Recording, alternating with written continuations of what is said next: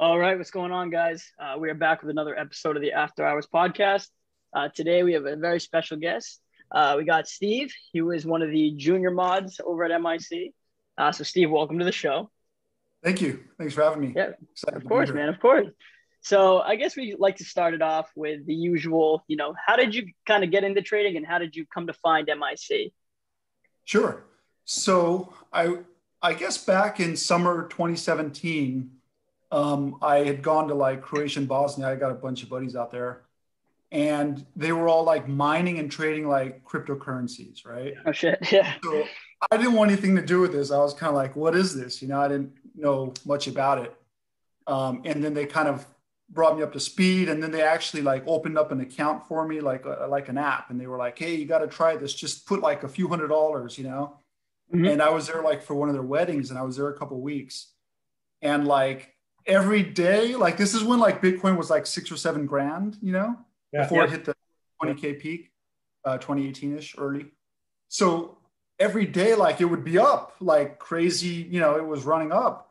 So I kept like, okay, well, let me put a couple hundred more and a couple hundred more. And next thing I'm like, well, let me just put like two grand, you know? Yeah. So I've like got like a couple grand in there by the time it's been a week and I'm just watching like 300 a day. And for, I'm like, this is crazy. Like, I can't believe this is like happening, you know? So, uh, and keep in mind, I don't know anything about trading at all. I yep. mean, did you have a retirement account? Like, do you have any sort of investments that way or just? At just the nothing? time, at the time, my story is a lot different now, but at the time, yeah, like I, I've, I had a pretty good job. I was doing like real estate development in California, yep. and uh, yeah, cool. so I, you know, money wasn't really an issue, but I just didn't know anything about trading. So I, you know, like I said, I had some money in there, and it kept going up. By the time I left that trip, I mean, I don't remember, but it was up like some crazy amount. I was just like psyched. I was like, this is crazy, you know. so then I get back to the U.S. and we're just sharing every day. I can't believe this, you know? So yeah. this is like, I don't know what month it was, maybe August, September. I'm not exactly sure. But I remember the date when it started to crash. That was like around Christmas or right after yeah. Christmas. Yeah, I know that yeah, yeah, fact. Like I know that day. So the months leading up to that, um, you know, it was just like I would put more and more money. Finally, I'm like, okay, let me put five grand, let me put eight grand, let me, let me just put money. So I had like, I don't remember how much I had put but at one point, right before Christmas, my whatever the initial, it was like 10 or 12 grand, I don't know, but it was like 26 grand. Yeah. And I'm just like, I mean, at that point, it's kind of like a, a pump. It is a really like a pump. It's the mentality yeah. of yeah. what stocks get pumped and these guys just chase it. Yeah. So I, I mean, I've been there, I know. But the thing is, you're never going to sell it. I mean, not for me. When you're greedy, you just hold it. Yeah. yeah. That's like all the Doge guys right now doing the same yeah, thing. Yeah. So like you hear a rumor it's going to be 100 grand and you're like, well, I'm not ever selling yeah. this. I mean, this is my new life. I mean, I just every day I wake up and there's another two grand in my account. It's it's like magic. Yeah. Yeah. So Christmas comes and it starts to fall. And it was right around Christmas or right after. It starts to fall. And I'm kind of panicking. I'd wake up and one or two grand was gone. And I would be waking up at 5 a.m. and checking, you know the deal and I couldn't sleep and I was just like, what's going on? So I started following some groups online on like, I don't remember where, Facebook or Twitter. And they'd be yeah. like, hold, hold, hodl, don't like ever let this go. And I'm like, yeah. okay. But the thing is, when it would crash, I would just freak out and sell it. But then the next day it would pop. So what would I do? I would buy it back. Yeah, classic backside mentality. Yeah, and it was back. It's you know that's why I know what happens to these guys when they don't follow MIC and they're just getting bumped because it happened to me. So long story short, to get past this story, I waited till my account had like three grand. yeah. yeah. like. Right. Oh, that's me and Ripple. That was me and Ripple. Yeah, I, I, don't so even like, like, to talk about it. no, I know. So I, I don't even share the story ever, but yeah. you know, uh, so luckily it wasn't like my rent money or anything, but still watching that money like dwindle is like hard, you know? So yep. I stopped and I like decided, I don't care what happens. I'm never putting money in there again. And I started like, like I knew Bao through mutual friends. Yep. Like we weren't already friends, oh, cool. But like 10 years ago we had some friends and I went to his place for a New Year's party. So like I oh, was cool. friends with him on Facebook. So I had seen he started a group and I was like, yeah, okay, like maybe I should join this group but unfortunately, like I didn't know him well, so I wasn't sure like should I join Yep. this group or try crypto? I didn't know what to do, so I tried a little kind of crypto first, and I didn't do well for six months or whatever it was, eight months, and then um, about two years ago or a little more than two years ago, I'm like, okay, I need to just join MIC and like see what's going on because I'm not having like any luck, right? Yeah. Yep. and and I mean I knew I didn't want to be pumped to or I didn't want to follow like signals or Yep. alerts in any way. Yeah. I just wanted to learn. Like I want to do it myself. I don't want Yeah. to depend on anybody because I had been burned so badly. Like if I didn't listen to anybody's advice, I probably would have sold it when it started to dip and just made good with 20 grand or whatever. But Yeah, hundred I kept listening to people and that was my, Yeah. that's the I mean, go ahead, Harry. Sorry. Well, I just think with a lot of these things, it's like it gets to a point where it's like it's not that you're losing money or it's not anything like that. I think it's that a lot of people get caught up in the community of the Bitcoin or the GME, For sure. yes. Dogecoin, For sure. where it's like if you sell, you're almost saying to the community, it turns into like a mini cult where it's Yeah. If you sell, Yeah. you're out of the cult. So Right. not only when it's dipping do you have the issue of oh it's losing money, you also have the issue of wow I'm out of the cult. I'm no longer a Bitcoiner anymore. And Right. sometimes that I find can be like scary. Harder. Yeah. You've been Dude, as maybe you as we're recording this, I just got a YouTube notification that just said, "Do not sell your SafeMoon," which is just some other like stupid Right. crypto that's being bumped. Like it just, it Right, just right. popped up. But Dogecoin has a community. Like GME has a community still. They all have AMC. They all have little communities. They all do their own research of why it should go up, why it should do this, why it should do that. And when you sell, everyone's like, "No, you're not part of the community anymore. Like you're kicked out. Like you're booted out. Like you're you're terrible. You're a disgrace." I think that can also be like you know some of the reason why people aren't selling because i think when it goes down the majority of people know that they should be selling but they're part Yes. of this Like that was my instinct. Like just sell it. 100% 100% but because you got the boys every day that you're talking to that you're checking up on And- Yeah, like you assume they knew more than you. I mean, Yeah. but Yeah. Yeah, Yeah. 100% I mean, I mean, Steve is kind of a good example of like I I posted about this in After Hours, and we talk about it often. But you know, with crypto, there's going to be all those one sh- one trick ponies that make a shit ton of money on the pump up. Um, Right. But ninety percent of the time, the people who made money are going to slowly bleed out and give it back because they truly don't know what they're doing, and that's kind of what happened Exactly. to you. It's what happened to me. And Yes. then you you go on and you find real education, and that's when you realize like, okay, there is a future in investing and trading, but there's more to it than just getting in something, hodling, and praying to the Lord Shiba Inu that it's going to go to the moon, kind of thing, right? right. So, so that's pretty cool. So then, how did you come to decide to join MIC? What was the final kind of push? Just you weren't making it, So- or yeah, like after the crypto thing, I decided like, okay, this is just gambling. Like, I don't want anything to do with this. I mean, Yeah. you know, luckily it wasn't my like mortgage money. I mean, I had Yeah. money, so it wasn't like, but still, like I said, I mean, Yeah. it's still it's painful.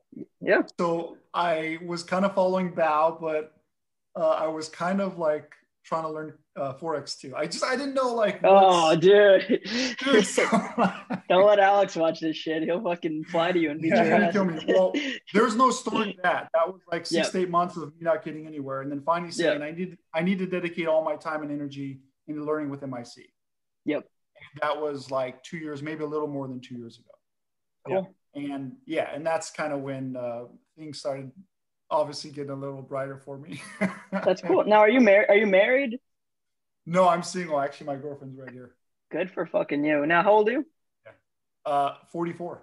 44. So now, while you were doing all this, did you find like your parents or like friends, anyone in your life, did they approve of what you were doing, or were people telling you like you're an idiot, or like what was what was kind of like the outside perspective on on everything you were trying to do? Um, I don't know. I guess like I- I wasn't really surrounded by people who were trading, yeah so Yep. people didn't really have much of an opinion. It was just kind of like, you know, if you're making money, that's great. And I think some of them also kind of wanted to learn too.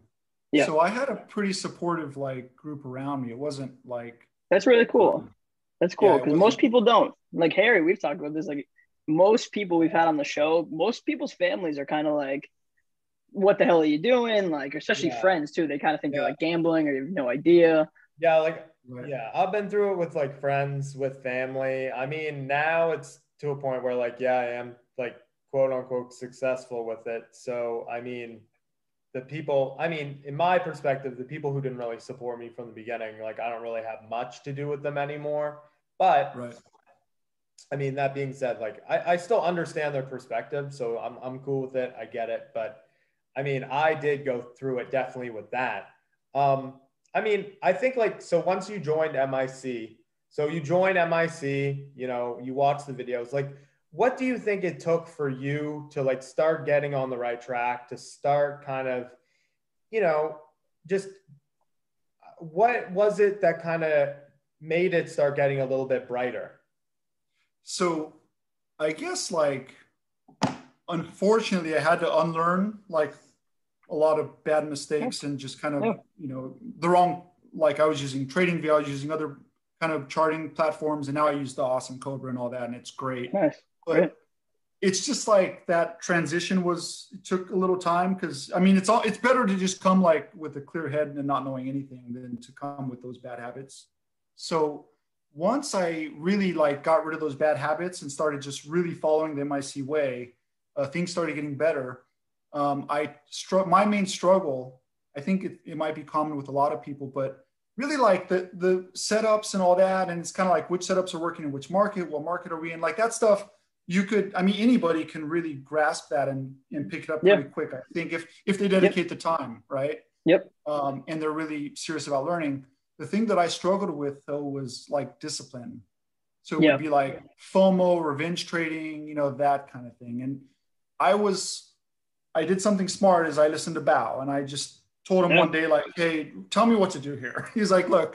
Put X amount of money, get Cobra, get DAS, start learning. I'm like, okay, I'm just going to follow these directions. Yeah. And he's like, set up a max loss, do this, this. So I did. So luckily, um, I revenge traded. I've lost like, you know, my cool and all that, but I've always had like a max loss. I've always been safe.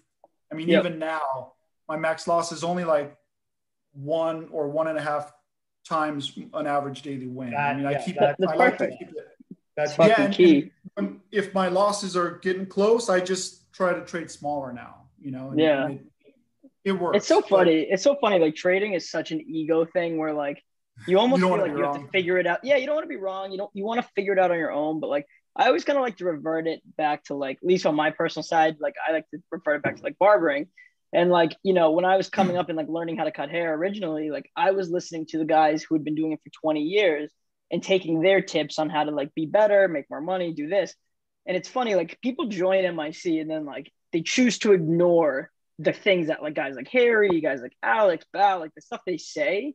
And they're like, oh, but I need to figure it out on my own. It's like, it's funny. If you just, like you said, if you just listen to them, like their basic, basic advice, you're going to be a thousand times better than the average guy who just is winging it right off the bat without Right. even like actually Right. trading, you know? Right. So, it, so it's funny. And, and that was that, that was like the pivot point for you, just kind of listening to those like MIC, the, like the process It- itself. basically if you could follow directions well and don't like you said i mean you can't really have a huge ego in this game you you've got to be like like we see some members and you give them some quick advice or they hear Bal's advice or whatever and they're kind of like offended i'm like dude like you got to like be humble come to this like i don't know anything i need to be a sponge and learn it Yeah. all I agree. and Yeah. if, if you have an ego you're just you're not going to do that well here you, Yeah. you got to humble yourself like every the best mods and you guys you guys are like i'm learning every day Yeah. I mean, you guys are like trading amazing. It's like I would be thrilled to Yeah, like, you We're know, learning every day too. That's, Right. that's the funny thing. That's- like we like so like, Harry and I talk about it all the time. We're learning new shit every single day that we're like talking to like like every time you talk to guys like Alex or Bao, you're picking Yeah. up like golden nuggets without them even knowing them. Like they're just dropping Right. them behind. It's Right. it's amazing. yeah, yeah. And then I don't know if you guys know, but I did something pretty amazing, um, kind of related to trading. August, I guess it was August of 2019. Um, I had been with MIC whatever four or five months, and I had you know kind of nest egg, and I'm just like, hey, I'm just gonna do what I love to do and, and travel. And I just kind of quit my job and all that, and I left, and I've been traveling full time ever since. Yeah, yeah, yeah. Oh, shit. I just wanted to get into that. I wanted to. I didn't know. I didn't even know that. or if I was going to bring it up. So, yeah, so you end up kind of becoming like almost like a full time traveler as well as trading as well. So, like, Yes. maybe you want to touch on about that as well. Like, what's that That's fucking like, sick. traveling on the on the road and shit? Like, that's pretty. Yeah, Like, you're in Turkey It's- right now, aren't you? I'm in Turkey right now. Yeah, you're in Yeah, Turkey it's right pre- now.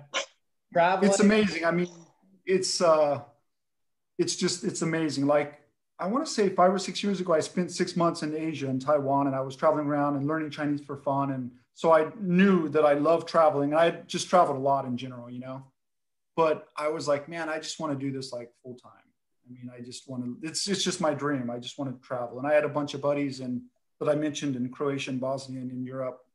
Um, and, and and I'm just like I'm just gonna go. I've been all over Asia. I just want to go spend a bunch of time in Europe. Yeah. So uh, yeah, I I said hey, and I knew because when I was between classes in Taiwan, I knew that for that month I like was I became depressed. Like if you don't have any goals, you can't just like travel and have fun and think that everything's gonna be great. You're gonna get bored. Like you need to have goals and something to do, no matter if you need the money or not. Yeah. So I was like, yeah, I've got enough money for, you know, X amount of time, years, and I'm going to sustain myself basically with trading, hopefully if I get to that level. And that was kind of my thinking. And uh, really, I mean, coming from California, like I don't need much to live in Europe. I mean, two or three Yeah. grand a month, I'm pretty good, you know, Yeah. um, depending where you are, right? Yeah. But yeah, so I like left, and the first six months, I mean, I was everywhere. I was just having a ball. Like I was with my buddies in Croatia. Then I can't. I mean, I always miss places, but it was like Germany, Italy, Spain, Portugal, It's fucking sick. uh, Bosnia, Croatia, Dubai. Dubai was sick. Oh yeah. Uh, Montenegro, um, Hungary, Greece. Greece was crazy. Um, so yeah, like, and now I'm in Turkey. I've been here probably so like since lockdown, it's a little since the pandemic, it's a little tougher. But I've still been in Malta, Turkey, Bosnia, mainly with friends and my girlfriend and stuff like that. Uh, but I've It's a got lot some- of fun, dude. it's just crazy. Like next month, I'm meeting one of my buddies, in uh, he's going to go to Serbia. We're going to meet up. Sick. Uh, if Stefan is there, he'll meet up with us too. But, but like I said, I've got buddies across the border in Bosnia, so I'm going to hang out with them a while. Then my other buddy from Vegas, he's a professional poker player. He's going to meet me in Europe, and we're going to hit a couple countries for a couple months.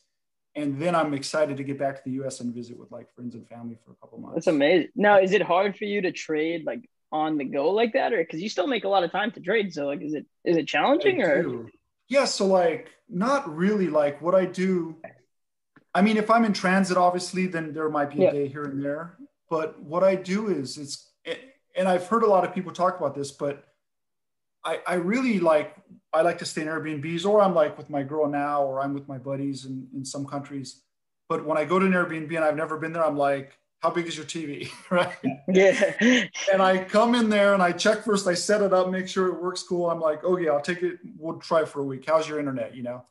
And I try it for a That's week. And if I like it, like in Malta, I was in one place for two months. And that was pretty cool. Yeah. But I've got to like make sure everything's cool. I like to set up my laptop to a big TV and I've got kind of my charts there. And it's pretty much like, you know, I mean, you can see a lot of charts. And Yeah. I, I focus on four on every tab and I've got like four tabs, you know. Mm-hmm. So I That's kind of put them together I trade one or two at a time and it, it works pretty well. I mean, I'm used to it. Mm-hmm. I mean, you're So- pretty much living like the like a lot of traders' dreams. Like you're doing, you became like profitable, you started making money, and now you're just like traveling all over the world, and like that's really freaking cool. Like I, I, I think a lot of guys that get into this industry, this job, because they, that's what they want. Like that's like the, Yeah, the yeah. ultimate freedom, and like you kind of have that. Yeah. Yeah. No, it's it's a dream come true. And anybody who's like on the fence about MIC, and I mentioned this today in the YouTube video, like just check out my Instagram. It's traveled guy, traveled guy with a D. Mhm. And you can see, I mean, it's it's real life. You know, this has been what I've been doing almost two years now. And it's just amazing. Dude, that's fucking sick. I'm fucking jealous, bro. Man, you could come out and hang out anytime, James. You know. Oh, It's- dude, I'm, I'll, I'll take you up on that for sure. Because honestly, once once this COVID shit's over, man, like I think the Yeah, for one of the shining things of MIC is like the meetups and like meeting Right. with other traders and like going places. Like once Yeah. this shit's over, Yeah. man, I'm out of here. I'm, I'm going traveling for sure. Exactly. No, so I was actually uh, kind of pitching to Alex a couple months ago. I'm like, hey man, once things start opening up, like I will be all over if you want to do a meetup here or there, like I'll help you host, like whatever you need me to do. I'm like traveling. I know so many people now in so many places. And yeah. And I'm, I'm actually te- teaching a couple of my buddies, the same ones who are mining. I've been trying to teach them to trade. And they're That's starting awesome. to have some luck with options. you should yeah. definitely tell them to join and be like, boys, you know, Right. that's what. Yeah, no, actually, a cool. bunch of my friends did join from the U.S. Oh, They that's That's. One of them like signed uh, uh, annual. I was like, "Hey, try it out for a month." They're like, "No, I already signed an annual." I'm like, "Cool." That's awesome. but I think people like see my smart story guy. And, and they're like, "Hey, I'm just gonna, you know, give it a try and Yeah. see how it goes." yeah, I love that. Yeah, dude, that's like inspirational as shit. And like, I guess like one of my last, one of my last big questions was like, if you were talking to like people who want to do what you're doing, you know, it obviously takes some balls to like even do it to like get into trading and then just travel the world and basically be like, well, I'm gonna live off this and like do it. Right. What was like the biggest like piece for you that got you like if you had to tell someone like, you know, before you do this, like, you know, these are the steps, what would it be for you? Oh yeah, yeah. So this, and I'll try to like compact it, but I mean, you can imagine I went through a lot of things, right? So Yeah, when I course. first left, like I downsized. I mean, really, you've got you're a nomad, so you've got to like get rid of your attachment to stuff, right? Yeah. Yeah. Like my Yeah. most valuable thing right now is like what I'm looking at is my laptop. Yeah. And I've got another Cool. one in Yeah. Bosnia if this one has a problem. I had like a really nice Durango. I just gave it to my parents and I think I owed like 20 on it, but it was worth almost 30. I just said like, here you go. Yeah. Uh, I mean, they've done a lot for me, right? But Yeah. Yeah, of course. I, I don't wear like nice watches. I don't care. I just I only trade for freedom. Like that's Yeah, that's my amazing, thing. I don't dude. care It's about fucking amazing. stuff. Yeah. Don't get me wrong, James. Like when I settle down, maybe someday I want a sick car like yours. But for now, like I'm just I'm traveling everywhere. yeah. So like Yeah, of course. the, the details, you know, I had to pin down a lot of things like you don't want to be paying conversion fees. So you need to get some good credit cards that pay you 2% and have free uh, Cool. conversion transaction fees in any country. Yeah. So Yeah. I did that kind of thing. Um, every month I just charge and then I draft for my bank. So like I don't ever have to pay fees. I keep X amount of cash or I could go to the ATM, but they always get you with fees. So like little details like that. I minimized all my expenses. My only expense really now is like my my cell phone and I've got like an international plan. Yeah. 70 bucks. I've got data anywhere in the world. That's You know, so sick, nowadays No, yeah, so just some of the details. I mean, but it's anybody could Yeah. DM me anytime and, and we could chat about that. But Bro, you should make a video on this because, like, honestly, I'd love to. Because, like, I I love traveling before before COVID and shit. Like, Oh, traveling really? was like what makes me happy. Yeah, oh yeah, and uh, totally. you should make a video on this because I know there's a lot of members that travel around. Like, like uh, I mean, I know he goes all around with his wife too. Like, it, it's pretty Yeah. cool. Yeah, and and I does. think like, yeah, for sure. And I think that's like you're you really are. Like I said, I, I hate to reiterate it, but you're living like the dream of most people. And I think that's something you should be proud of. And I think that's something that you shouldn't uh shouldn't sleep on. It's pretty cool. I think one question. No, I- keep going. yeah, Oh no, I Sorry? think one question that I have is like, you know, I'm sure it's happened to you before where like, I mean, and I'm just curious for because myself, like when I start traveling, like, you know, I have a girlfriend as well, and like we definitely want to go places and stuff like that. How did you kind of deal with like losses on the road? You know, like you're on the road, you're traveling, you Good know, question. maybe it's a day before you trade, or maybe it's a day where you're going to the beach and you have maybe a nice day planned and then you take a loss. And because like how I wanted to do it is that I was like, fuck it, like I'm not trading at all when I'm traveling because I'm gonna be worried Ah, like stress, yeah. let's pay for that. right. But like Right. so you take a loss on the road, like maybe give me a little bit of insight on like kind of like the mentality that would go through your head during that. I would say sure. I would say like like I mentioned um, when I started, and I guess more like last year, I had a issue sometimes with with discipline. Yeah. So it would be exactly what you said. Is I would like I used to play poker a lot. Yeah. I would tilt, right? I, I I would tilt, and I'd be like, oh my god, like like you know, it stops you out Now the trade works, and you're like, ah, right? Yeah, yeah, yeah. you jump back in, but now it's ready to go back, you know? So like it would stress me out. So basically I really like I watched a lot of the stuff on the psychology. A lot of Austin's videos helped me, his webinars, because sure. he really talks about this psychology a lot. Um, but really I used to have a bigger max loss, like two or three times or whatever it was, and I reduced it to like it's probably around one and a half or something like Yeah. that now. Yeah. So I think that helps me a lot. And I mean, my my girlfriend has seen it. It's kind of like, you know, she'll be like, "Are you down today? How much?" I'll be like, "It it can never be that much." That's all I say. Yeah. it can never be that much. So I try to keep That's it to where I can never really care that much, and and I Yep. try to look at the big picture results, like the week or the month, and I know that some days like nothing is just going to work the way you want it to. So for me, it's really keeping my losses down to that kind of average profit day and a half of, of a max loss. And I try really hard when it's like half that, just either stop, you know, or Yep. trade really small, like I said. And, and if there's no A plus, just she'll see me like I'm like I'm done looking at screens at, at charts today. Yeah. But then I'm pretty good at it now. Like we would just cook dinner and her, you know, some of her family would be here and we'll just hang out. And then I just kind of Yeah, yeah, tune it out. That's I cool. mean, yeah. the thing is, like, I, I learned a little bit of this when I used to play poker because I actually played full time poker when uh in, on PokerStars when the economy was bad in like 20. Oh, shit. 2000. That's cool. yeah. That's how I met my buddies in Europe, right? We used to play That's together. sick.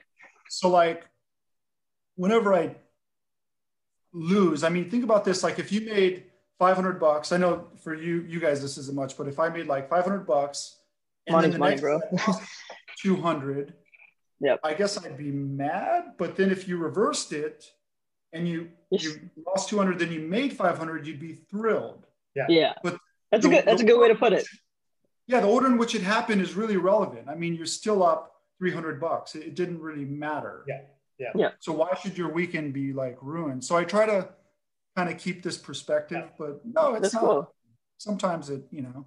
So really Yeah, sounds no. like kind of like the max loss was what kind of helped keep you in check and be able to kind of like tame you in order from getting to that point where you were super stressed out or getting to that point. Like, because I guess you kind of know your own limits yourself. So you said, okay, Yes. I have this max loss. If I go over this, that's what's going to stress me out. That's what's going to Exactly.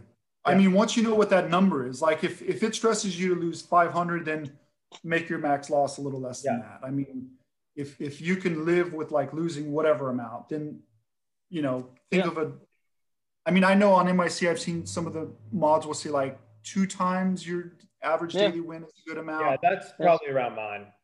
Yeah, Yeah. but for me, I just fine tuned and I'm like, look, if I get to half this, I'm going to trade smaller. I'm going to close the Yeah. screens. Yeah. Yeah. So like for me, because I have, you guys have, right, you know, 10 times better discipline than me. So I know that I need mine a little tighter and I need to be trading smaller when I get close to that. Mm-hmm. Yeah, so that of course. helps me. I don't, I don't want That's to, awesome. I tilt when I lose two times, you know? Yeah, Yeah. I, I'm the dude, I, I'm the same way. I, I have that number in my head that's like I've made videos Right. on it. It's like if I lose more than X, I'm gonna feel like a piece of shit, and it's gonna ruin my day. It's gonna annoy me. So my number is Right. way below that, so that way it doesn't affect me.